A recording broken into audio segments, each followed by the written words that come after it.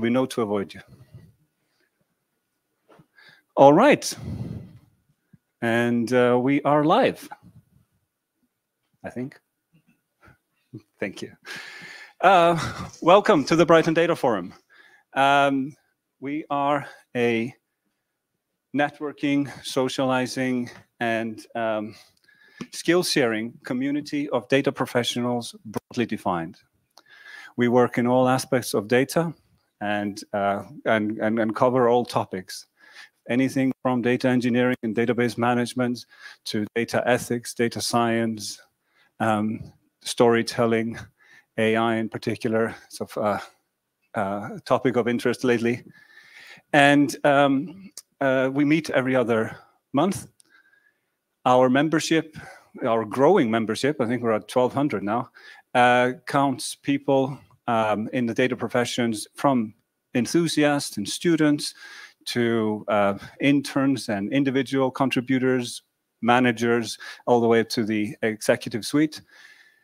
And, uh, and, and yeah, so um, we especially welcome students and enthusiasts into the fold and uh, encourage you to reach out if you have uh, something about data to say, to something to share. Now, um, I'm sure you've all signed up at our meetup.com page, so that's sort of our home, our spiritual home at least. And uh, but this forum also runs a Slack space that I welcome you, encourage you, cajole you, beg you to join and uh, contribute to. Um, this is where we keep the conversations going in between our bi-monthly meetings. And uh, we organize social events, we organize well, we do sometimes organize bike rides, uh, uh, going out for a pint, uh, various things, uh, just to have the continue the uh, conversation between the between all the members. So, um, so yeah, so to get in touch with the membership, please um, join here and and follow what we're follow our program. Now, um, I really want to um, uh, give our, give my thanks and our thanks to the forum's various benefactors. And, uh, and first uh, is Silicon Brighton. They are um, an event organizing umbrella. They organize all these events, and I think even more by now. Um, basically, if you are in Brighton and in the tech sector or tech adjacent, then um, they will probably have an event for you. And if they don't have the event for the technology or methodology or the field of your interest, go talk to them. They'll help you set it up so you can gather your like-minded individuals into a um, into a group because they are growing this list of groups they support. Um, Brighton Data Forum is uh, proud to be sponsored by them for now, what, almost five years. Um, they themselves are supported by all these and more local companies. Um, I'm happy to report my employer is there too. Uh, and uh, th these, the, yeah, so these companies are, are the uh, sponsors behind Silicon Brighton, but there's a lot more than the sponsorship. There is, um, there, there are volunteers, there are meetup organizers, various supporters. Uh, so um, if you have an interest in bringing the community together around any of the previous uh, meetups or your own particular meetups, they welcome your uh, contribution to the to the project. Um, their values are here, so a bunch of really good words, but these are, are really good people. Uh, and for the Brighton Data Forum in particular, we are uh, grateful for all their support. They help us promote the events. They help us uh, get in touch with uh, really good and talented speakers. They bring the audiovisual uh, visuals along, and they help us with all the logistics. So, uh, so again, my best thanks to the Silicon Brighton community for supporting this forum, which would have long since uh, uh, expired without their continuous infusions. Now, second uh, is the venue uh, that we are enjoying. We really enjoy having our events here. Um, we have, uh, you know, this is this is central. People love coming here, and it's just you come right off the street into a warm space with uh, uh, to talk data. Uh, and this um, venue, which you probably know, it is Barclays Eagle Labs. And here to tell you about what Barclay Eagle Labs is is Rowan. Thank you. Hello, thank you, Oscar.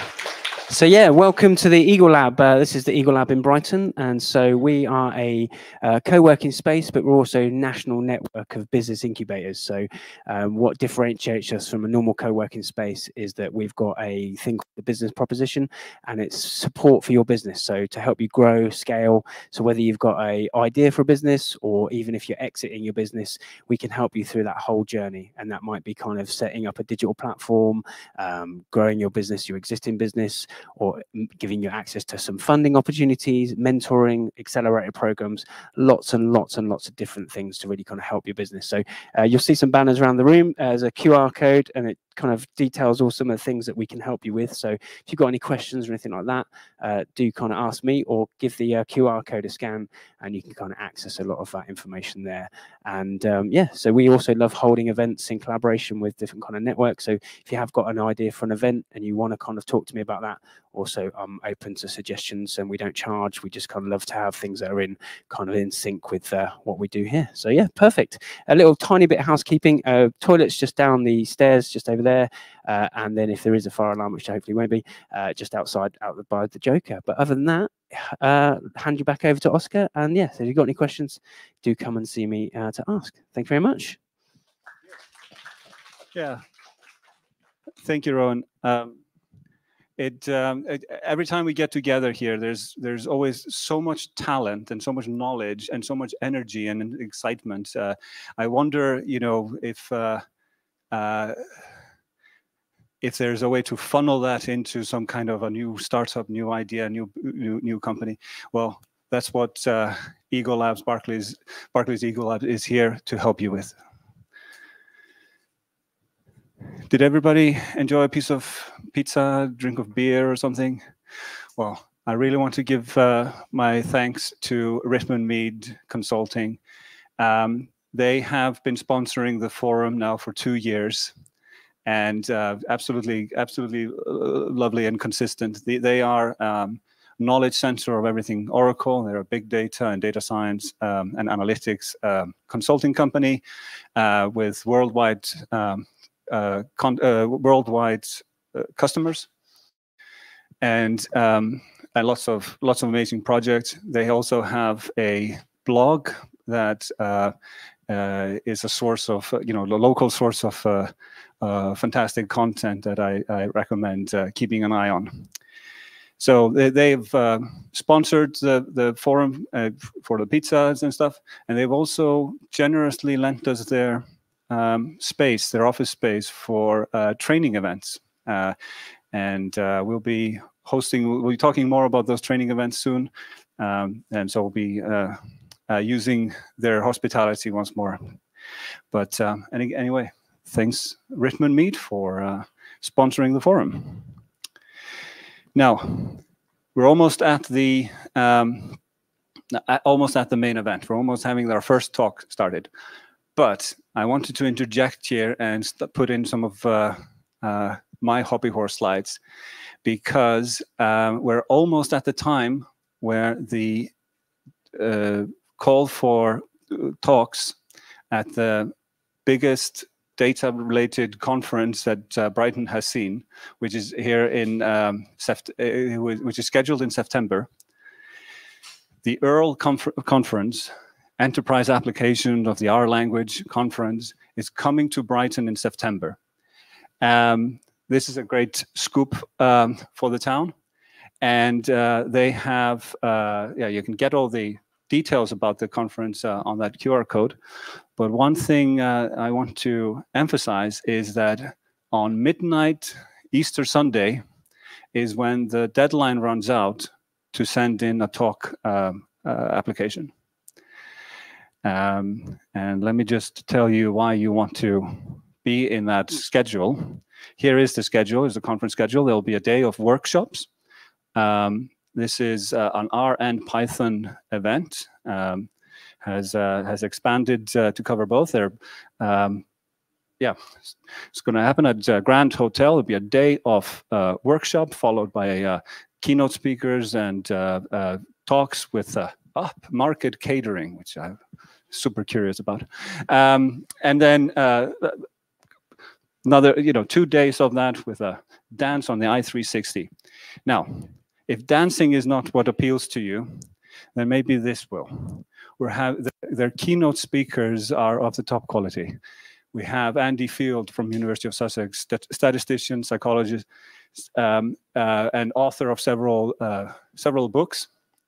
We have the senior. We have Crystal Swift, who is the senior um, uh, uh principal data scientist at the BBC.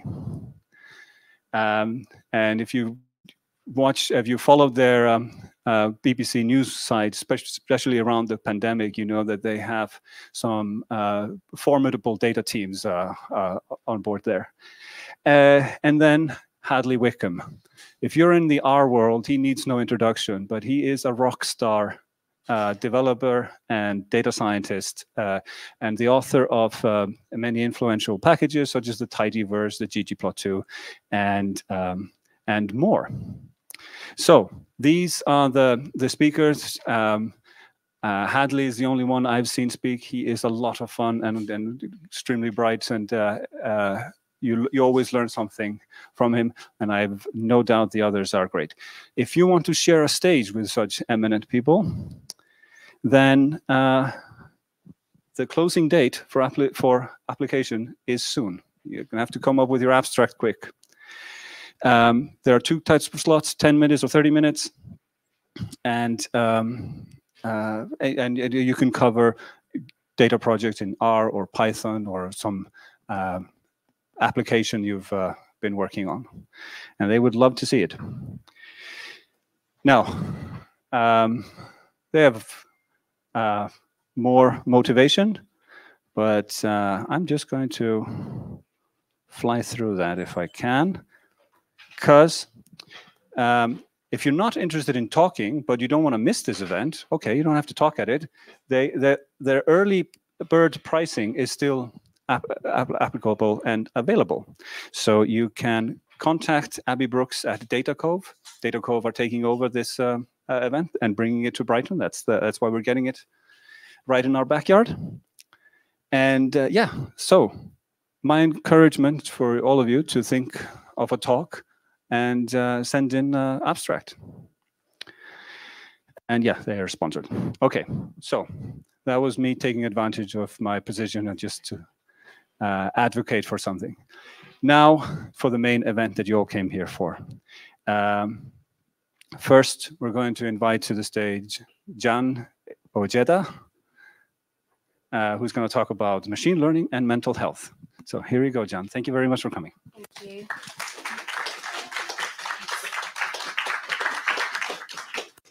Thanks for having me. So once again, my name's Gian, and I did a little bit of um, background, or I have a background in psychology with business and management uh, at Sussex University. But shortly after that, I decided to pursue a master's degree in human and social data science. And using the um, my knowledge in psychology and some of the data science techniques that I've learned from my master's course, I decided to fuse the two fields together and do my master's project on how machine learning can be used to better detect adolescents who are at high risk of um, developing mental health disorders in the future.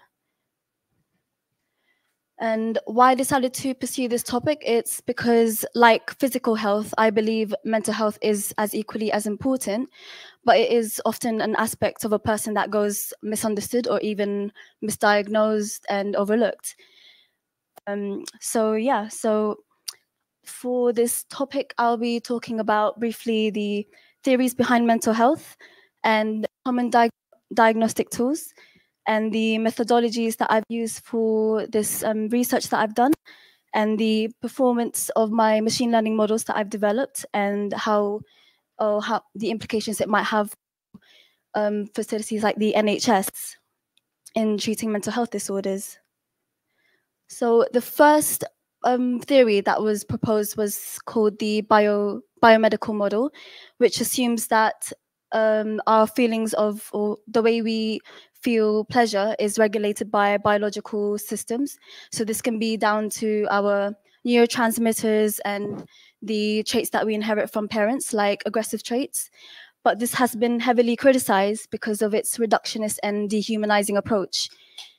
So to counter this, the um, the model called biopsychosocial model, which was proposed, and assumes a more holistic approach whereby fact the social factors, the psychological and the biological aspect of a person all interact together, which determines whether we go on to develop such disorders or not. But because of the limited scope of my research, I decided to focus on the social factors, uh, specifically how family um, has a very impactful um, element on someone's mental health. And I encountered an interest study actually by Mood and colleagues in 2017.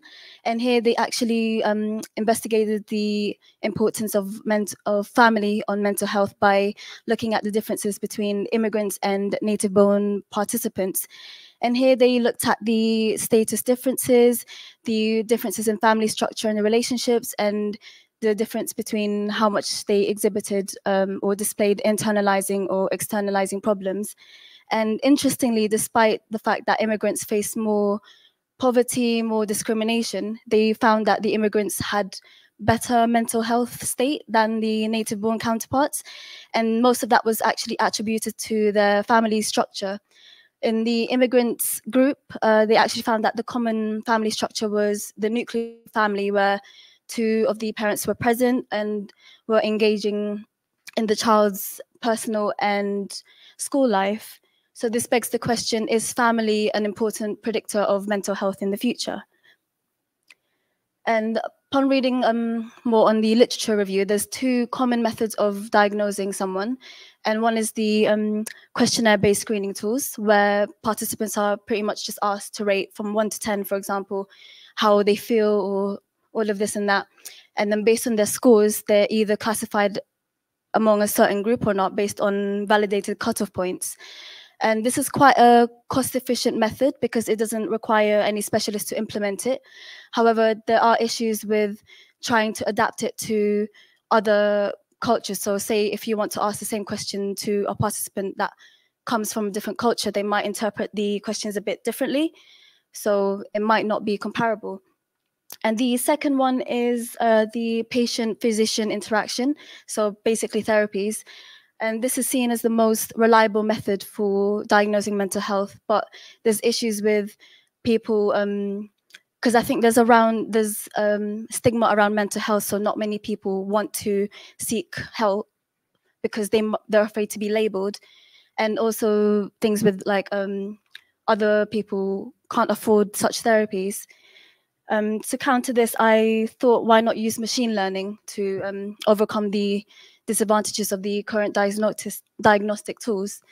And for anyone out there that's unfamiliar with the logic behind machine learning, it's a subcategory of artificial intelligence, and it works by imitating the process of human learning by analyzing big data. And there's two types of uh, algorithms. One is the supervised machine learning algorithms, and these models use data that already have pre-established values. So you already know the variables that you're working with.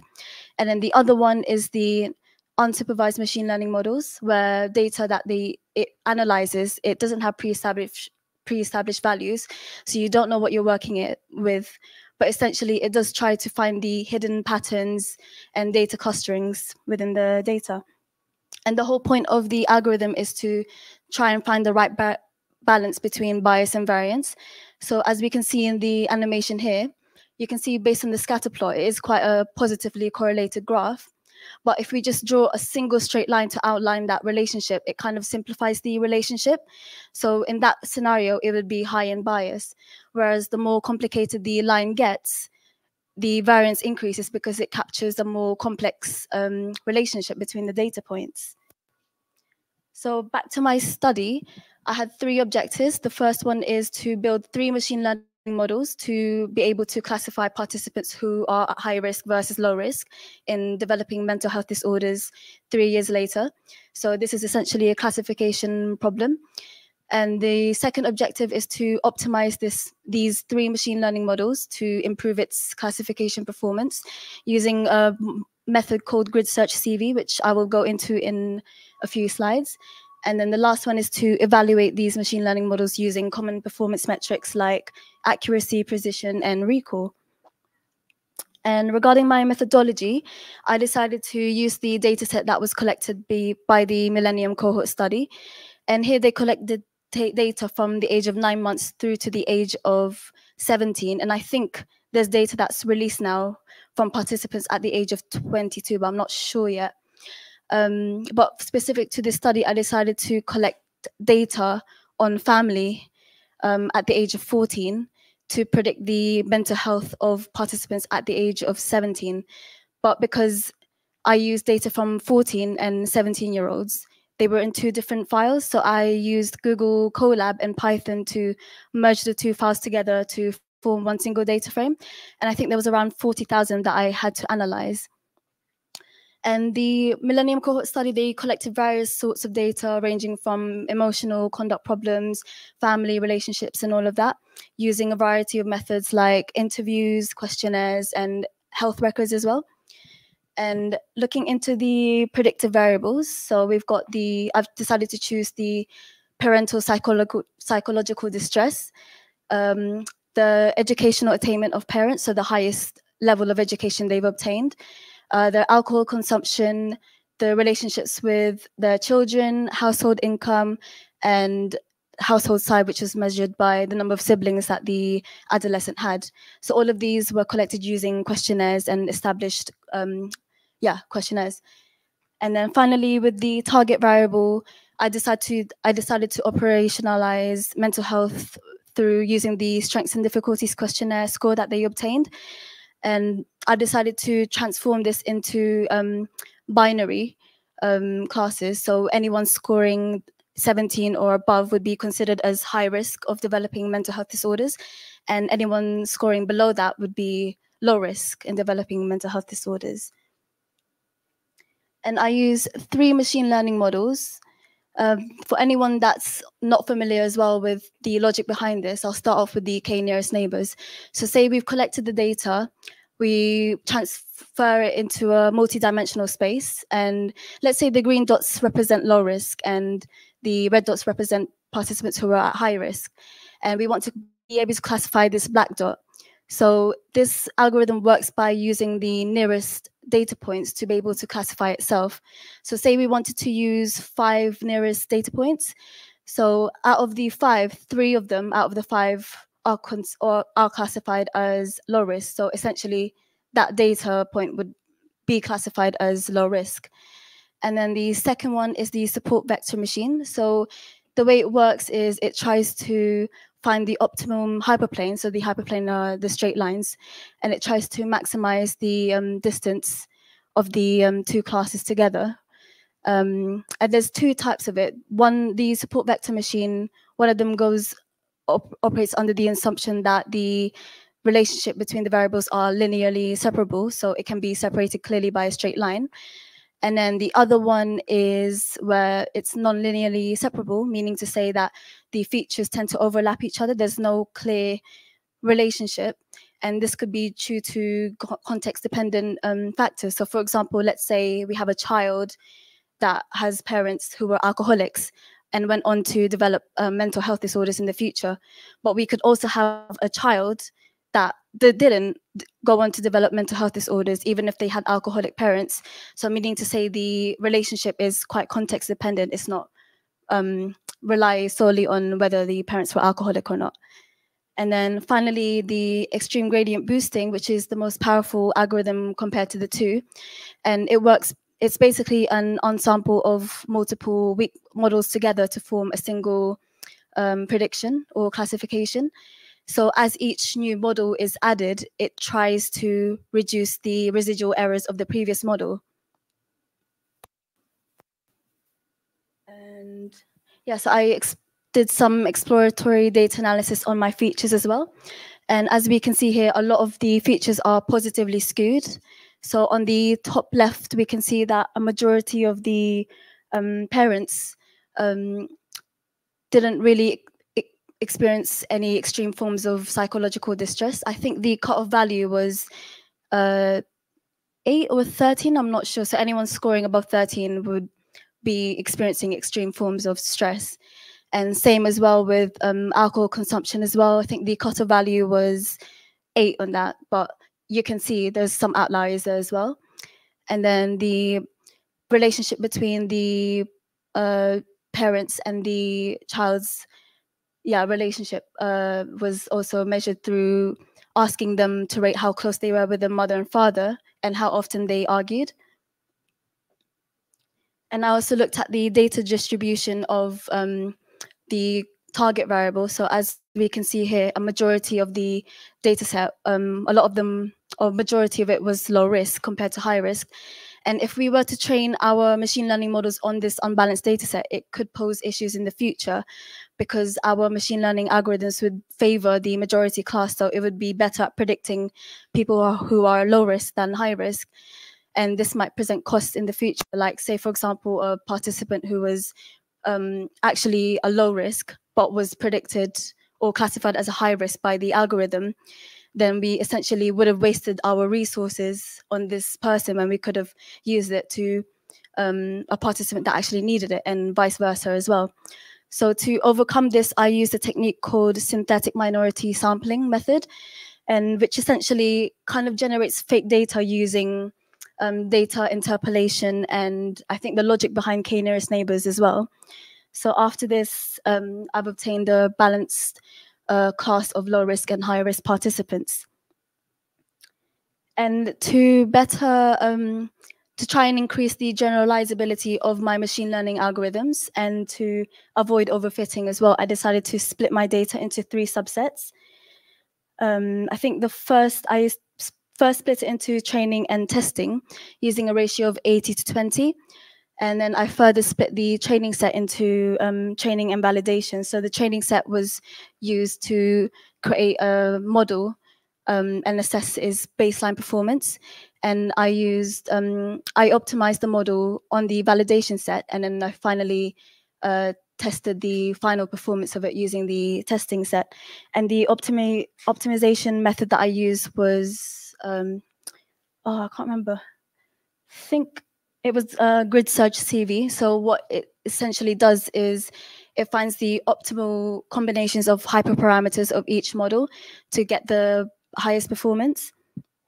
And as a result, uh, before I did the optimization process, we can see here that the XGBoost was highest um, in performing or better at classifying participants who are high risk or low risk, followed by the support vector machine and the k nearest neighbors, but upon after I did the grid search CV, um, the performance of the models in generally did improve, but not much for the XGBoost. It has definitely significantly improved for the support vector machine and the k nearest neighbors. And I was also curious as to which features were more important. And so I decided to use a method called permutation of feature importance. And it works by removing each variable one by one to see how much the accuracy drops by. And as we can see here that the parental distress uh, score was the most impactful variable in our XGBoost classifier. So this might have implications in the future of using um, family-centered approach for therapies and for um, combating mental health issues among adolescents. And it's um, it's important as well to try and adjust the limitations of my research. So while it does try to alleviate the lack of transparency within machine learning by combining psychological theories with machine learning, it does have issues with generalizability beyond the UK because the dataset I use was come come from a UK-based um, sample, and also the strengths and difficulties questionnaire, which measured the adolescent's mental health, was parent reported. So this might not be as valid because a lot of the time as a child, you tend to seek comfort from uh, friends, anyone outside your family, not from parents. So the parent scores might actually be an underestimation of the um, scores of the child's mental health. And another big thing as well, I've looked at the ethnic composition of my data, and as you can see here, a majority of the participants are white. So again, if we were to train our models on biased or unbalanced samples, then it could have implications regarding misdiagnosis of mental health among ethnic minorities because it doesn't really account for the unique experiences that they um, experience on a daily basis. So yeah, to sum up, I've discussed the theories of mental health and common diagnostic tools, and I've potentially highlighted the importance of family and how it can be a significant predictor of mental health, and also how you, machine learning can be used alongside psychological theories to address mental health issues in the UK. And this just outlines the um, the steps that I took to build my machine learning models. Thank you.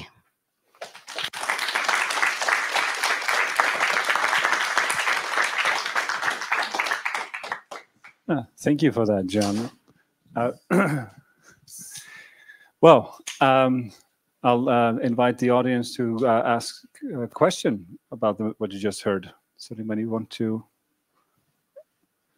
Yes, go for it, Peter. Uh, firstly, I thought it was great. Um, just reminds you of like how how rigorous the academic world can be. It's really cool. Um, I have a bit of a narrow question. Uh, it's about the use of you use SMOTE to create the synthetic data for your training set, uh, so the classes are balanced. And um, I often have like kind of mixed feelings about using synthetic data. Um, I think it can be really good because sometimes the the extra quantity you get like improves the performance. But did you also try just taking a subset of the overrepresented class so you get balance just by using a smaller uh, group within the, I can't remember which was bigger. You had like the at risk and the non at risk group. One was bigger, one was smaller, right? Uh, did you compare the use of SMOTE uh, against just uh, taking a, a, smaller group of the overrepresented class and see uh, how the model performed with that? I, that's a good question. I actually didn't because um, I don't have much background in data science, uh, what data science techniques that I could use, because most of the um, techniques that I've used from this project was based on the modules that I've, uh, the modules I was in at Sussex University. But yeah, that could be a good um, recommendation in the future. I think, maybe it would, would be. Uh, I think probably what you did probably was the right thing, but it's like yeah. uh, it's often a, a good test to do because, like, I think these sometimes with these with this synthetic data, like sometimes you capture the relationship between variables, um, and sometimes you don't. Um, and so I know it can just be a fun thing to try. Yeah, yeah, I'll keep that in mind in the future. Thank you. Thank you for that. More question? Go for it, Peter. Um, so the data is all synthetic data, yes? Yeah, on the um the low the high risk uh, group, yes.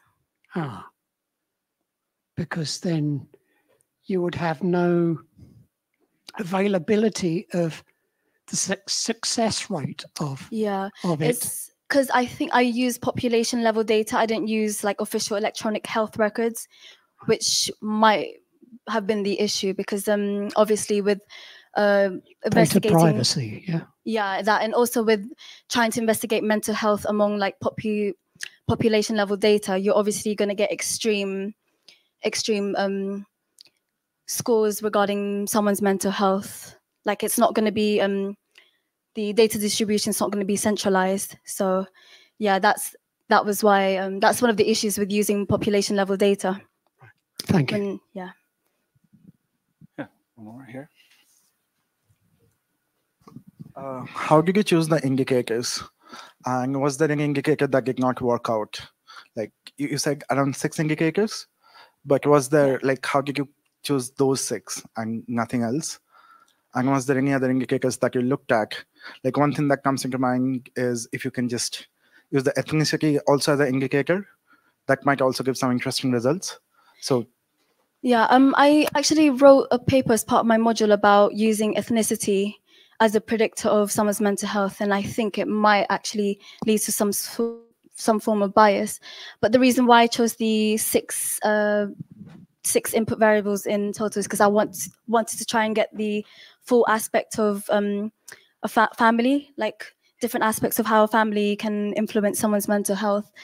And the issue that I had was um, trying to measure the parent relationship, uh, parent-child relationship, because the only um, way I measured that was well, the only thing that the data collected from that was by asking the participants one question: How close were you to your dad, to your mum, and asked them to rate it from one to ten. So I think that itself was not really like validated um, method of assessing closeness with the relation with the um, relationship with the parents. Um, but the strengths and difficulties questionnaire, which assesses uh, the child's mental health, was officially validated against a UK sample uh, group.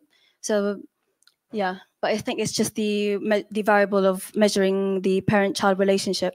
That was one of the issues that I had. Yes, one second.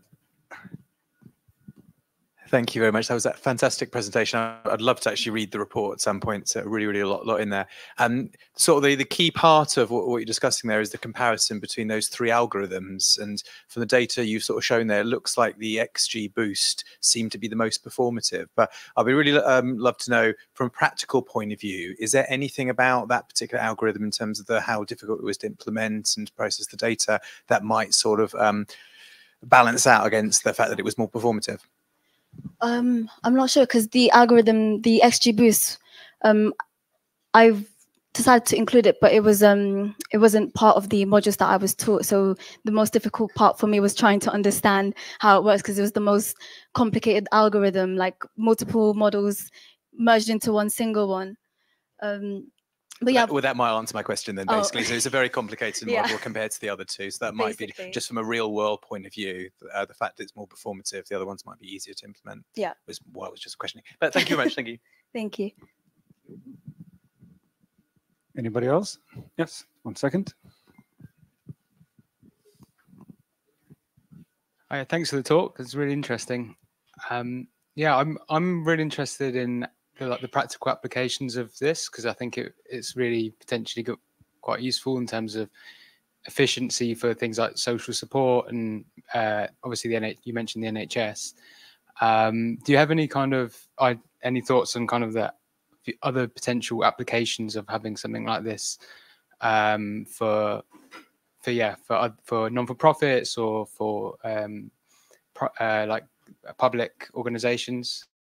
So Yeah, definitely. Because the whole point of this was to try and propose a framework for um, creating an automated system rather than have a specialist potentially diagnose someone, which can be really costly. And especially with the waiting time within the NHS, by using an automated system, the waiting hours would be reduced dramatically.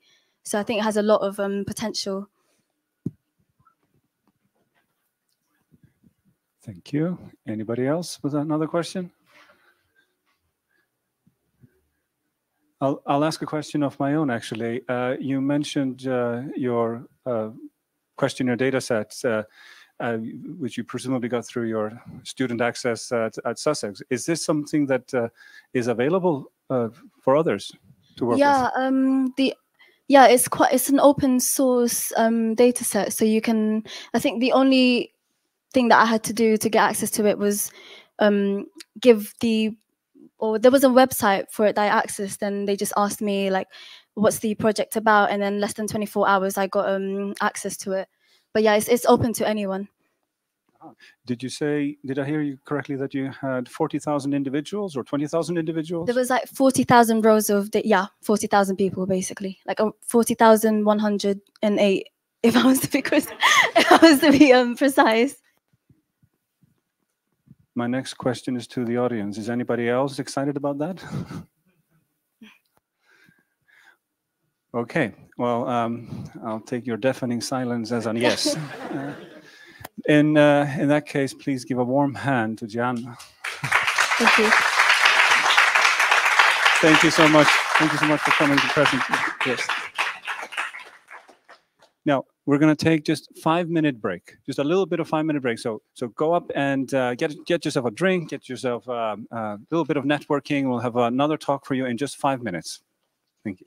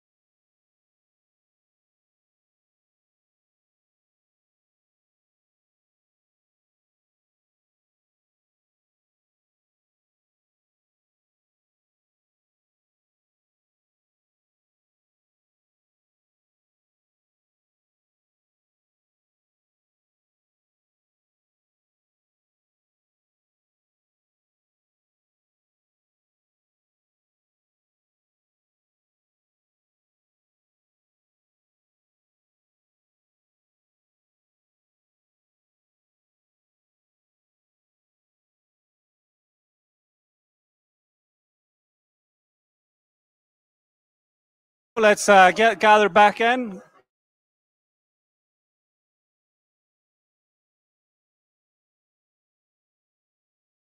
Attendees.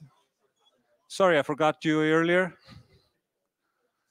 Um, to you on the internet, to you on the, on the YouTube stream, if you have a question, type it in the comments, uh, and Charlie will uh, forward them to me, and uh, we'll take your questions first after this talk. Okay? Sorry to forget you earlier. Anyway, so um, everybody ready for a more data talk? That sounded right. That sounded right. Okay. Next up, Matthew Franklin from Brandwatch, machine learning engineer, to talk about custom sentiment. Thank you very much. Take it away, Matthew. Hello, everyone. My name's Matthew, and I'm from Brandwatch.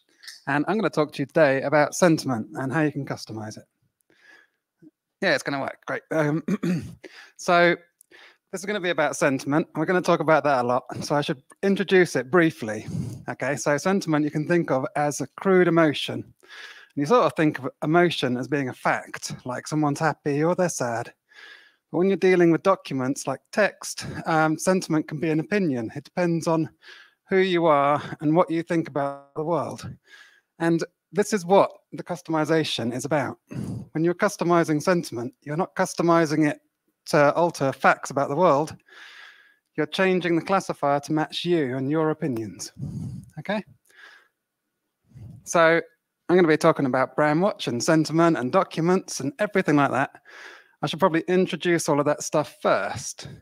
And then you can understand what I'm going to talk about when I talk about how we implement the custom sentiment classifier. Okay, so we'll start with what is Brandwatch.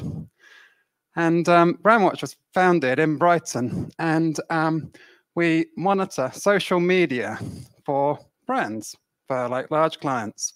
They're interested in what people are talking about.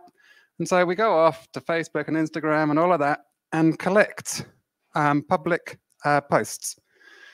And then we got things like the author and the time of day that it was posted and so on. And we aggregate all of that data for our clients. And what do they do with it? um, they look at things like this, which is big aggregations of that data because there's so much. You know how big social media is. There's tons of stuff on there. You can't read it all, and you wouldn't want to anyway.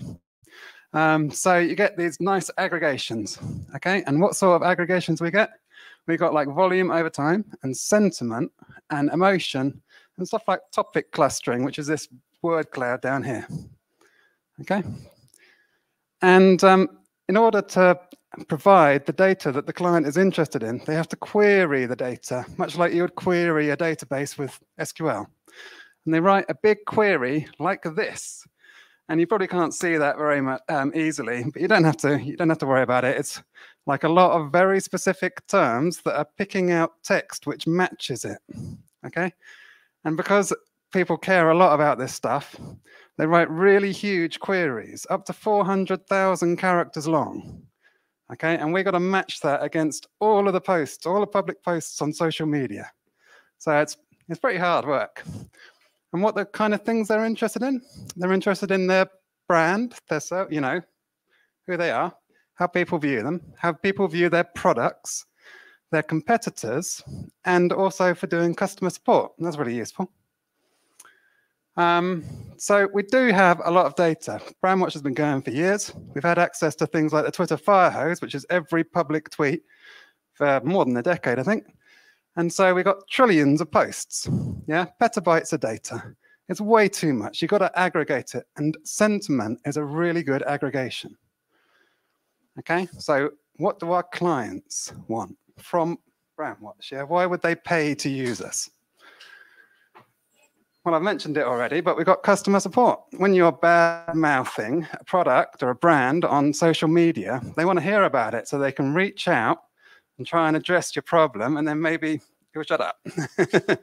um, you know, or say nice things about them. How about that? That would be good. Um, you can also, this is why I got my prop. Okay, here is Diet Coke. Um, now, you can also find out about your own products and how people perceive them. So uh, back in the 80s, Diet Coke was advertised with like swooning women looking at muscly men. Yeah, things were different back then. And um, it was advertised to women to, you know, because they care about their shape. But like men care about their shape too. um, let's not be sexist or anything. Um, so Coca-Cola Zero came out, and it's basically the same, but it's slightly different taste, a little bit. And um, it had this really masculine can, very black. Um, and they listened to how people were talking about it on social media, and they discovered that they had like this very masculine thing that women didn't want to drink. And so they adjusted the look of the can so that it was more inclusive because everybody cares about their weight, you know, especially me. um, so this is like an example of using social media in order to identify how people feel about the product and try and improve that. And then you get like spying on your competitors. How about that? Yeah, you can do all this brand analysis and you can check out your competitors and you can find their weaknesses instead of their strengths. Like what opportunities are they leaving? Yeah, it's pretty fun being a spy. I wouldn't mind that kit. Um, anyway, that's what Brandwatch does. So now we have to have like a demo so that you can actually see it. Yeah. But demos are poison for presentations. They're so bad. Um, this is Steve Jobs, you know, head of Apple, going on to the internet or failing to with his fancy new iPhone. Yeah. Do you remember when Elon Musk got someone to smash up the Cybertruck on stage? That was awful. I'm not going to do that, but I'm going to pretend. So I got slides, see? And uh, we're going to pretend that we're going through the Brandwatch Consumer Research product, okay? So I just logged in and it's like, welcome to Consumer Research, Matthew. And I'm like, oh, it knows my name. Um, and I'm going to be looking for conversations about the Wendy's fast food chain, okay? So I'm here and I'm like, well, what do I do? Um, look, get quick insights on a brand, person, or topic. Even better, it says AI powered. It's going to be amazing. Yeah. So I type in Wendy and I get Wendy's, American International Fast Food Chain Restaurant. That's looking pretty good. And then I find this. Okay, so we got uh, squiggly, and that's like um, volume over time. It says it right there. Um, and it's looking pretty, pretty flat, and then suddenly it spikes up. What's here? Something happened. And so I want to make a query out of this and dig into it a bit more. Okay, so I press that button that I've circled. And then, like, I'm impatient. It's collecting the data. It doesn't take very long, but this is why this one's a little bit flatter. Well, we can still see there's a big old spike. I can probably work with this. And now I can change all of the graphs and have a look into it in a little bit more detail. So what, what do I want to find out about this spike? Well, I want to find out how people are feeling, right? So I'm going to break it down by sentiment. And I do that and I see this. And so we've got like a low constant amount of positive sentiment in green, sort of highly varied neutral sentiment, but an increasing amount of red sentiment. Yeah, bad stuff. Don't like that. Um, so what's going on here? And yeah, I use Iris, okay? It's a peak detector and explainer. And it's pretty neat. So I click on that button and it's like iris detected two peaks. There's this peak in the neutral that I don't really care about that much, you know, whatever. But there's also this peak in the negative sentiment. And uh, most of it, almost 3,000 retweets of this tweet. So what is this tweet? Okay, I'm going to read this out because it's got some acronyms and stuff. Remember when the Black Lives Matter activists burned down a Wendy's in Atlanta? They were finally convicted. For their crimes, they will pay a $500 fine and receive no jail time. Remember, the peaceful insurrectionists that stormed Capitol Hill will be in prison for years. Okay. Um, I had to, you know, expand the acronyms, but here we are. You got the gist. Um, so these are negative sentiment tweets. Negative about Wendy's. Wendy's is like a bit player in this, someone who's standing looking, oh, there's a crime. What? Yeah, what? okay. Um, so this is a problem, isn't it? Because that was a Wendy's query. I want to find out people talking smack about Wendy's. So the last thing is, you know, we all love ChatGPT. I just thought I'd stick this in here so you can see that Brandwatch is hip and cool. And um, we got like automatic summarization using ChatGPT. So here we go. Out, outrage over the punishment, uh, blah, blah, blah. And also negative uh, restaurant reviews. That's probably what I was interested in. Um, but yeah, it works. It's pretty good.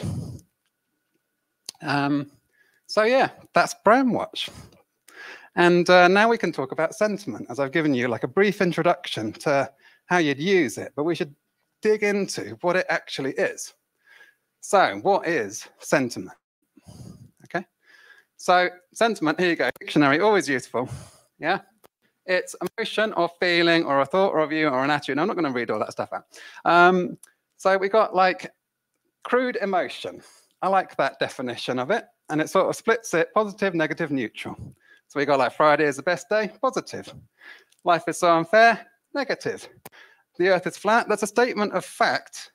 And it's neutral, even if it's wrong. Okay? So it's not making like an emotive argument there.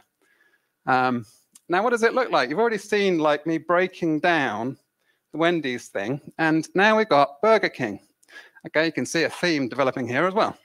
And we've got volume over time, so it's all, all over the place.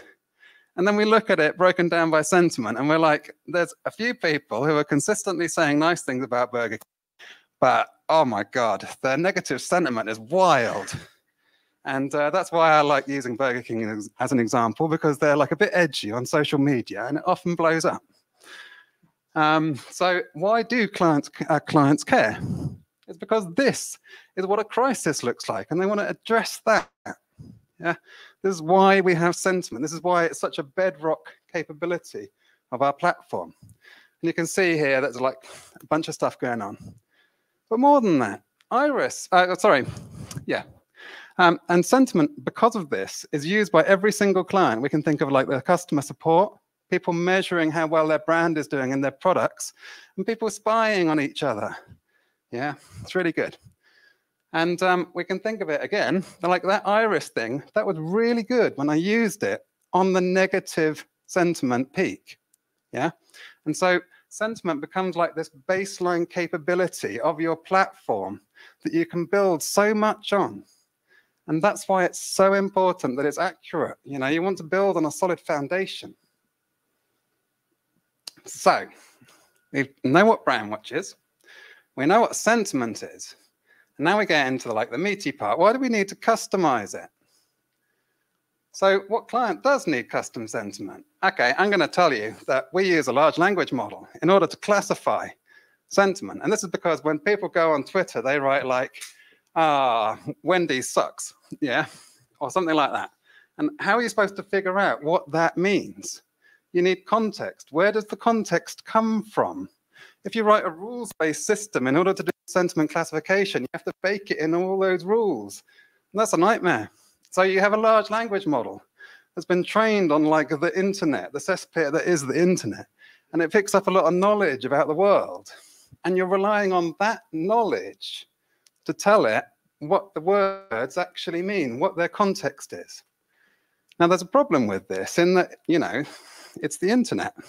And um, the context, the culture that develops on the internet may not be desirable. And so we have to think about like what we're choosing to use as the baseline for our sentiment, what we, you know, what context we're using. And so we can imagine this. We can go through like one utterance, which is this woman talking to a large language model saying, imagine an executive committee member. And the large language model responds, a board member, let's name him John. Now, she's clutching her head, so this conversation is not going well. Why is it not going well? What's so bad about John? Well, why is John biased? We can think about it in a few different ways. John is an English name. There are variants of it in other languages, but they're not spelt J-O-H-N. It's a male name. There are like female variants of it, but they're not spelled J-O-H-N. In, uh, English countries are majority white. And what's more interesting uh, uh, to me, at least, my brother's name is John, um, is that it's a name of someone who's a bit older. Like John, 2010, that was the last time it was in the top 100 um, baby names. So it's not popular anymore. So that large language model imagined a middle-aged white man as that um, executive committee member. And when I say that, then you see that it's now, the problem here is that the language model is going to be full of bias. Like it's the beliefs around the world that it's picked up. And which one of which ones do you want to keep and which ones do you want to get rid of? Yeah. And why do customers care? What does it matter if the executive board member is named John if you're making a sentiment classifier? exactly, yeah much better. um, yeah, so customers care because they're doing things like measuring sentiment and because brand names can have sentiment associated with them. So if I was to say to you, like an Apple phone, you've got a certain image in your mind. Now, how about Windows Phone? Yeah, GTA 5 came out a while ago, and there were three protagonists in there. And the rich white man had an Apple phone and the psychopath hillbilly redneck had a Windows phone. Yeah? Sentiment is inherent in like brand names. And we can see this here. I ate at Burger King, which is a statement of fact. It's not emotive. Yeah? Negative sentiment. And it's not like a little bit, it's really bad. Um, okay? And then we got KFC. Now it's neutral. Apparently, the language model prefers chicken. Um, and then we have We Love Falafel, which, if you haven't been to it, it's like in the lanes. Very nice. Um, now, obviously, this is positive for good reason. And um, if we think about just the name of it, We Love Falafel, that is a sentiment bearing phrase.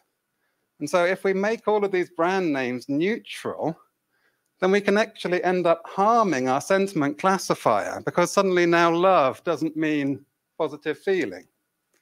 Okay?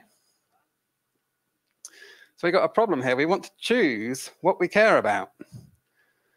Um, now we could try going even further and creating a blank slate, a tabula rasa, uh, their mind before it receives the impressions gained from experience. And we could remove all of this bias from the model. Okay, imagine that going back to rules-based systems. And um, the I've said it many times, but we stereotype in order to make decisions fast and to operate quickly. And the large language model stereotypes in order to be able to do its job more effectively. And on average, it helps. Yeah, maybe people really do hate Burger King. And so a sentiment classifier about conversations about Burger King should be negative. Okay, now if you want to read about clearing out these kind of um, associations that you dislike, you can read this blog post, Machine Unlearning for Harry Potter. I thought it was very interesting. Someone trained a language model to forget about associations between like Harry and Hermione and Ron and Wizarding and all of that. And the, um, it mentions explicitly that the performance on some um, open-ended tasks was harmed as a result of doing this. So we need some bias, but we need to choose it. Yeah? Tweets need bias because people talk in partial thoughts. Okay, all right. We finally made it to the implementation. Well done, everyone. Um, so we need to change the classifier for every client, but how are we going to do that? Well, we're going to customize the sentiment model, aren't we? Um, and in order to do this, we need data, we need tools, and then we need a model that the tools can run, and then we need to train the model. Okay, so I'm going to go through each part of this. Data collection, all right? So we're training this based on our clients being unhappy with our current sentiment model. So they log into Brandwatch and they see stuff like this. Burger King mentions found in a positive context. That's what the title says it's in. And I've typed in a search of inedible. Um, and I found these. Yeah, absolutely vile. Uh, the king was so burnt. The only thing from BK I can stomach. Um, they don't sound very positive to me. okay. And then we've got that Wendy's tweet earlier that's neutral about Wendy's, but is very negative. Yeah. So a client's going to pick a small number of these and then complain at length to our customer support about how terrible our system is. Okay. But, you know, it's a complex problem. And so they've got these, but that's not enough to train a, a classifier on. If you've got like 10 documents and you train a classifier, um, it's not going to work out. So we need more. We need more, and we need, you know, and the clients are essentially expressing their opinions by selecting these specific documents. So we need more examples, and this is where OpenAI and ChatGPT makes a second appearance. Um, what we can do is we can use ChatGPT in order to classify more documents in a way that's consistent with the opinions that the client has expressed. Okay, how do you do that? We come up with a big old prompt. right? you've used ChatGPT probably, and um, you've used it to do your homework, and you're like, you're an expert in my subject at school, and um, I want an article about like the Roman Empire. Um, and this is like a good prompt framework if you're going to do that sort of thing. Okay. And um, the thing here is that you're going to have like you provide this big prompt and your examples, and then ChatGPT comes along and says, well, that first one, yeah, I feel like that's a bit negative, and so on and so on. And if you're on an enterprise client, you're paying for every word it utters. Okay. And then you have to get another person to look at all of the guff that it's come out with and say, does, does it say positive or negative or neutral? So that's no good. It's too expensive.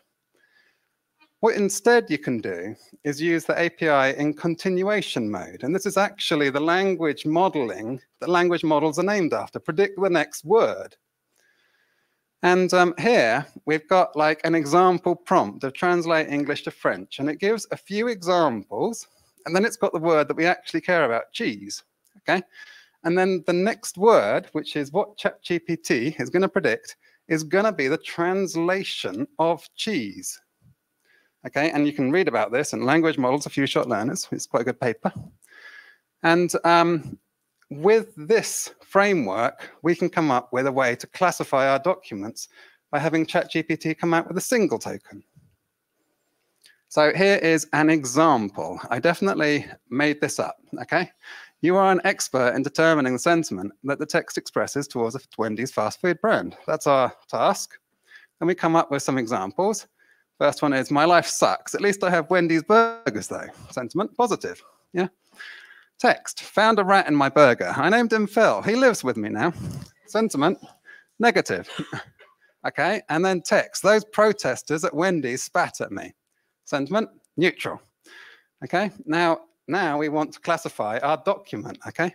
Text, rats found in Wendy's burgers are unusually intelligent, able to solve the New York Times crossword.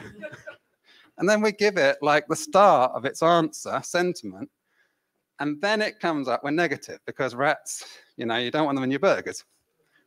Okay, now it should produce just this, and then we'll have our classifications and it'll all be great. But if you've used ChatGPT at all, you know that it loves to waffle on. And so this time it says, this text, text expresses negative sentiment about Wendy's. Rats at a fast food restaurant are a public health concern. I mean, it's right, but it's not helpful, yeah, because we need to get someone to read this and to work out that it said negative. And I'm going to say to you that if you're doing this sort of thing using the API, the temperature parameter is what you need to use. You need to turn that down to zero because that is used in order to make it produce more realistic output. And what it does is it makes it randomly select words a little bit, yeah? And if you're trying to use this as a classifier, you don't want it to randomly select the wrong class, okay? So put the temperature down to zero, and then hope that it only misclassifies a small number of documents. So we do all this, and we try and get a balanced data set, okay? 100 documents of each class and it might take a while and we might have to um, do quite a few documents. Um, but you've got to realize that you need every single class because if you train a classifier and you have no neutral documents, it will never predict neutral or, you know, positive or negative or whatever. Yeah, and um, you talked about this in your talk. Um, so collecting data costs money, and this is what we're trying to minimize. Yeah, if you think about it, if clients have to come up with a 100 of each mention, then only a few clients are going to use this. And so fewer people are going to pay for this. And that's like losing money by having not that many people use it. If we pay people to collect the data, that costs money. Using ChatGPT, it's hopefully cheaper but it still costs money. So you have to optimize it by making a shorter prompt and by reducing the number of tokens it produces. Okay, so that's data. And now we're talking about tools.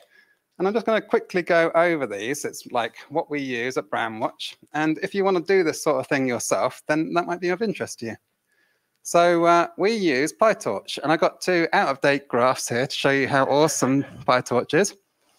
The top one is the ratio of um, GitHub uh, of academic papers using PyTorch versus TensorFlow. And you can see that in 2021, uh, three quarters of all papers for deep learning were using PyTorch instead of TensorFlow. And then we got like the um, GitHub repository split. And you can see that by January 2023, um, PyTorch is absolutely dominating it. So you're going to find more up-to-date research by using PyTorch, and you're going to get more help because more people are writing stuff in PyTorch. And we use Hugging Face. Yeah, everybody loves Hugging Face. It really is the best for doing natural language processing. And you should definitely check it out. And they've got tons of stuff on there, okay? And it makes it really easy to use models. So here we've got three lines of code that is a sentiment analysis system, okay? Great job's done. What? Why did I spend so long on this talk? um, anyway, yeah, there's loads of models. You can try them all out, and they're really good. And we're using a transformer model. Okay, and now um, I don't know if you're familiar with it, but there's the paper. Uh, attention is all you need. Okay. And transformers really are the best for natural language processing. They have been the best for ages, ever since BERT came out in 2018. And ChatGPT itself is a transformer model. Okay. Ah, ELMo was actually a different uh, language model. You know, you, you say this, um, all of these crazy names have been net used, okay? So, uh, um, and, you know, I will add that Hugging Face makes it really easy to train models. This is actually like longer than the slide, but that's because there's so many options. But it's in about five lines of code in total to train a model. And they've got like a blog post where they go over doing sentiment analysis. So that'll be a good help. And finally, I made an example data set for you. If you like Wendy's and Burger King, then have I got the data set for you? yeah, all of the mentions, all of the documents that um, were used in my little graphs are in this data set available at that URL. Okay, and I came up with a little notebook that shows you how to train a sentiment classifier from scratch. So you can have a crack at it too. And I've even included the original baseline sentiment from the Brandwatch system. So you can try and train one that replicates that, or you can come up with your own one that's even better. So how about that? So if you're going to do that, what sort of model are you going to use? Yeah. So you might use a small model like DistilBERT.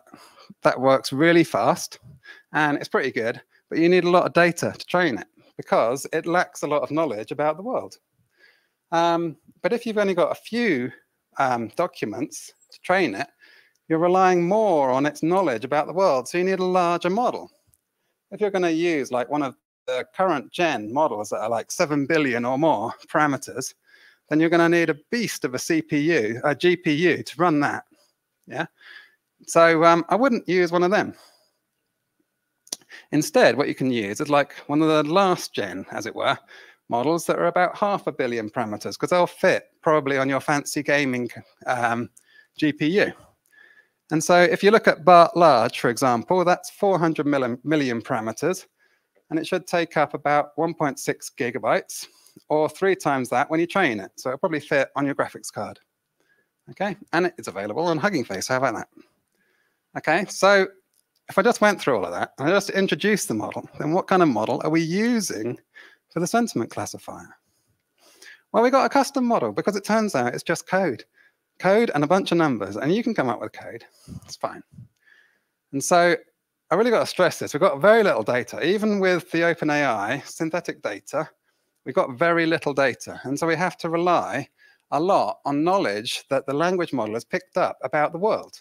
And they do incorporate knowledge about the world as part of their training.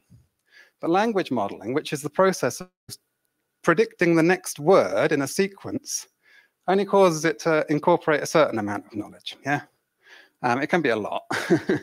um, but is there another task that we could do that would make it incorporate more? Yeah? Turns out there is. Um, it's called multi-genre natural language inference, which is to um, take a document and a hypothesis and say if the document supports the hypothesis. So I've got an example here. A senior is waiting at the window of a restaurant that serves sandwiches. And the hypothesis is a person is waiting for food, okay? It didn't say person and it didn't say food. Yeah, but the model should be able to see that that is entailed by that document. And then we've got another statement, a person is waiting for the bus. The document doesn't comment about like waiting at a bus stop or anything like that. So you don't know if that's true or false. The document does not entail that. And this task causes the model to incorporate more knowledge about the world and about relationships between things in the world. So we can use this kind of model. And we do. And we actually use a stack of them, okay? We use the same one and we ask it several different questions. We're running it multiple times per document. And we take all of those outputs and stick them in our classifier. And then that is another model, which then produces our final classification. All right, easy. And how do we train it? Training's got to preserve knowledge. And I really got to stress this because we've got so little data, it'd be easy for us to come along and destroy all of this knowledge that is inherent in these models. Okay, so we've got to be super conservative about our training. And the way that we do that is we train it incrementally. So to begin with, we just train this classifier model at the end. Okay, and when that's doing as good as it can, when it doesn't improve anymore, then we can train just a little bit of this MNLI model. And then we train again and again, and then just a little bit more and a little bit more until maybe one quarter of the MNLI model is trained for this task, and the classifier is completely trained. Okay, and this is called uh, gradual unfreezing, and there's a paper associated with it if you're interested in that. It's a very good way to train these models. And now, after all of this, you get to hear the training results. How about that? So training the custom sentiment classifier improved accuracy by between 10 and 40%, which is a vast improvement. Yeah. Um, and so the clients should be really happy, right? And so now we can talk about evaluating all of this stuff that we came up with. And um, the thing is that the clients had this problem, and we can't go to them and say it's 40% better, be happy now um, they have to actually assess this and see if they are happy. Um, after all, it is to fit their opinion. And if they come up with more things that is misclassified, then we can go through the same process and train it further. Okay, and so how do we do that? Well, we, obviously, they select the data to annotate. They train and, and we train and run the custom model on their data. And then we, uh, they view the results and see how they feel about it. How do they feel about it? Well, we find out in an interview. You know, it's a structured um, setup that we repeat with several different clients. It's got open-ended questions, and um, we try and find out the recurring themes that come up in this, these conversations with the clients. We also try and improve the questions so that the next round of doing this gets better. And then we get to the outcomes, you know, maybe the clients love it and they pay lots of money for it. And then we stick it in production and everything's great.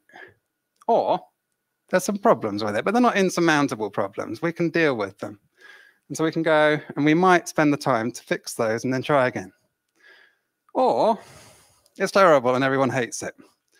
Um, and we give up on it. And, you know, that is realistically what the outcomes are. And I know, having worked on it for a while now, that I'd prefer it if they liked it, but I don't get to choose. Um, so yeah, that's that's the end of it. Thank you.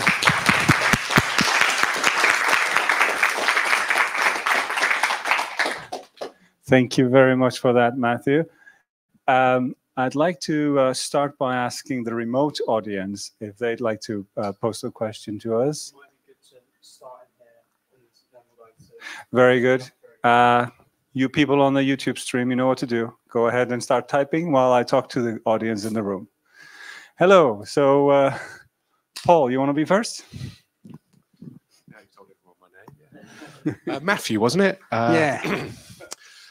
it seems counterintuitive that most sentiment uh, is neutral. Um, I just it just seems wrong. You know, most people have something to say and they say it because they're angry or they're sad or whatever.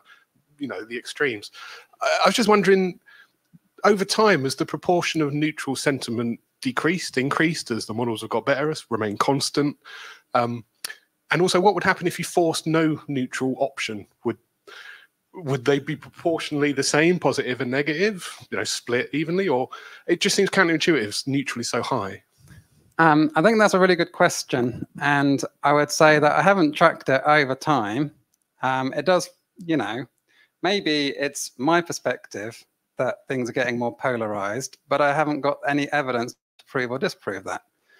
Um, if what happens if we only have positive and negative, then what happens if people make statements of fact? And there's plenty of data sets where there are only positive and negative um, classes, like a two-class sentiment classifier, but then it like imbues every statement with emotional charge. And if you're looking for like people who are actually genuinely upset, that might not be that helpful. So there's no scaling on the sentiment. It's either positive, it's either positive or it's negative. There's no extreme there. It's it's just a binary thing, if you like, or a triboolean. Yeah, so this kind of classifier is um, on or off. Yeah, it's one of these three rather than being a little bit positive or a little bit negative. If I went back to, um, ugh, you know, we love falafel, that bit, um, you'd see, here we go, that the actual output from the model does have these gradients. Yeah, like it is um, split between them. But if you're creating like a line chart with three lines on it, then you have to pick.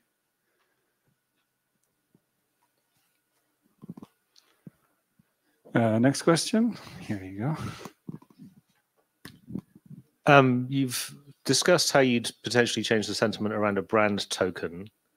Have any of your clients come to you and said, "Our customers don't speak like that; they have their own vernacular"? Is there is there an argument for using uh, slightly different cultural LLMs for different audiences? Like, I mean, uh, you- we discussed teenagers, right? Teenagers speak different from fifty-year-olds, right? Is there is it worth having a model that models the brand based on the language they use? I think that's a really question. And it's a great example of like a different domain of language. And you can absolutely have a different domain that more closely resembles the audience for your brand. And then it can pick up on specific terms. Now, if I click all the way back to the beginning, aren't you lucky? Then you'll find peng or peak, which is like what them youth talk about, right? Um, so good or bad, apparently. Um, but this is the. I'm not going to pretend to be young. I don't know. okay. Um, so yeah, exactly. You could um, train a model in order to better model this language, and then hopefully it would gain a better understanding about that context instead of the general context. What about Hold on, Pete. um, what about running the same questions that you've built for the current language model uh, on different language models that take account of age? Oh, that, that's Is a- that hard? Well, how would you account for age? Because people often don't declare their age with every single post. And if someone posts on social media and then you lose track of them, and then they turn up again on another account, um, it might be the same person and they've aged in between. I don't know. Uh, it, it sounds tricky and it would be quite interesting in order to stratify like that. But if we think about like uh, millennials and Gen X and Z and all of this, those are like bands of people that are all aging together that might have like a common cultural reference point. And so it would be interesting to be able to split it based on that. But it's reliably assigning individual authors to those bands that I think is the tricky part. Would the, the language model take a, a huge amount of extra code to flag what sort of language the, the, the document is, is using to stratify it?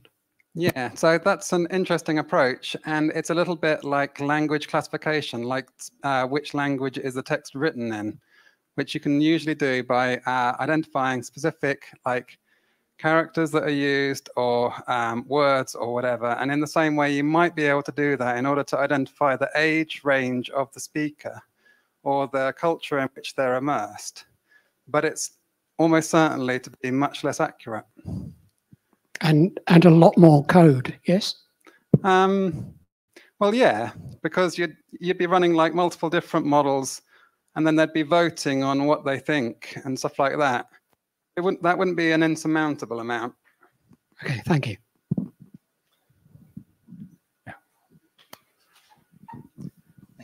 Um, as a John, um, still in denial about being middle aged, but everything else is fairly fairly accurate on that.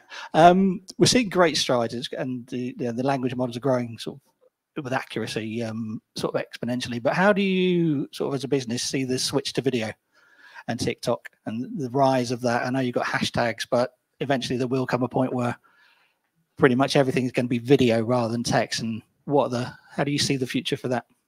So if you were to process like a full video stream, you'd probably want a different kind of model, just like you have different kinds of models for image. But if you think about an image, if you were to process a video frame by frame, that would be very expensive.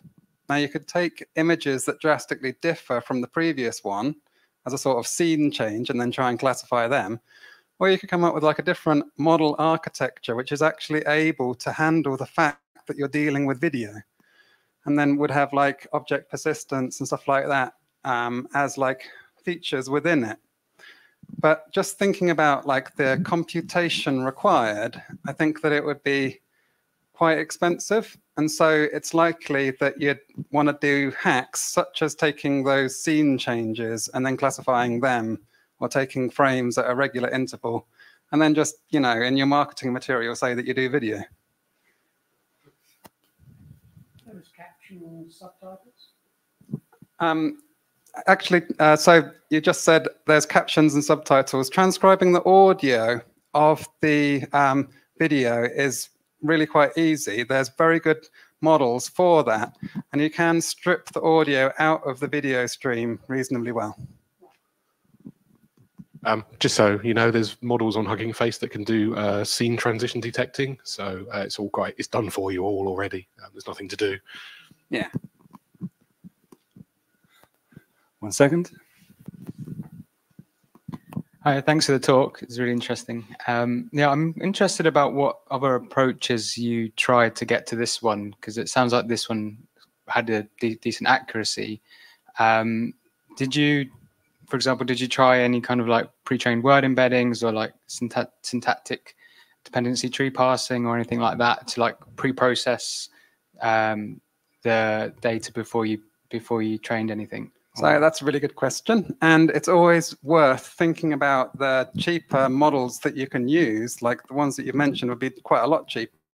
Um, and the thing here is that we do provide those. We've actually got like a random uh, forest classifier available, um, but you're basically going to all of this effort to have your custom classifier and then cheaping out on the model. And then that reflects itself in the accuracy of the new sentiment that you get. So they're available if you want them, if like you're extremely cost sensitive when it comes to running it, um, but the accuracy suffers. Uh, I have, uh, sorry, here. I have one comment and one question. I think uh, comments under a video can act a really good proxy. You don't actually need to analyze the video. You can look at the comments and you can just kind of get the sentiment from that much cheaper much more commercially viable. Uh, my next question is uh, particularly for tweets. Um, does it detect sarcasm? Like, because it does not have the context and it's just like few words. How well does the model do? So um, I'm going to answer both of those questions, or the comment and the question. And um, on the sarcasm thing, I like that one of the managers at Brandwatch used to always answer, yeah, we'll get right on that. Um, and the problem here is that like um, something said in jest, in sarcasm, can be mistaken for someone's honest opinion on the internet. And so it's very difficult to come up with a sarcasm, sarcasm detector. And you might be able to like have a language model that does that. And we sort of might have got that for free, but I wouldn't rely on it.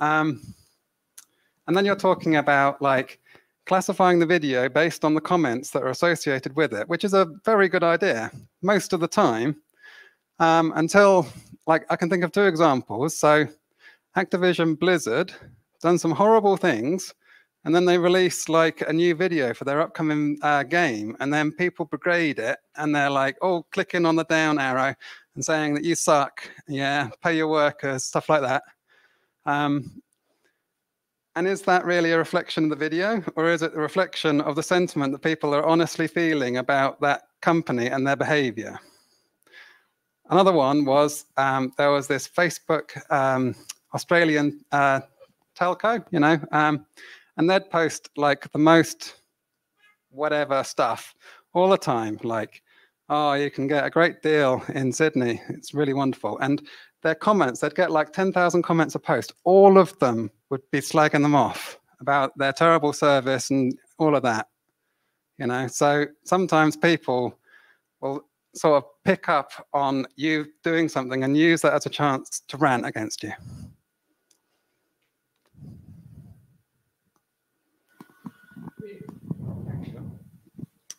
Hi, Matthew. That was uh, an amazing talk. I, I, wonder if you get enough sleep.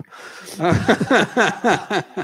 I, am feeling pretty tired right now. yeah, I was just wondering whether there's verification taking place behind the concept of sentiment, i.e., using more standard market research tools such as focus groups and things like this. Because sentiment to me seems like you know a, a, great idea and certainly has uh, marketing value um, but again, it's very movable and it's very social media based. And if you were a brand manager, maybe you'd want some verification that actually the the uh, the mood of the social media uh, audience actually can be backed up by verification in, in other in other ways. I think that's an excellent comment. Um, yeah. So, does sentiment drive sales? Like, will more people buy something if they're happy about the brand? And um, at one point, we did have a polling part of the company that would try and do this kind of outreach and poll people directly in order to find out what they felt about um, brands and like were they likely to buy them or not and stuff like that.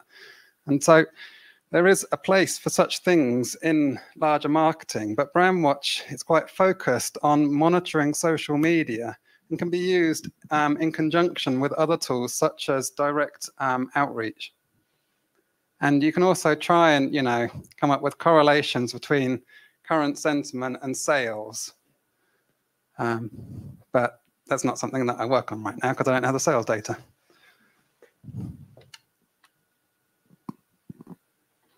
More questions? More questions for Matthew?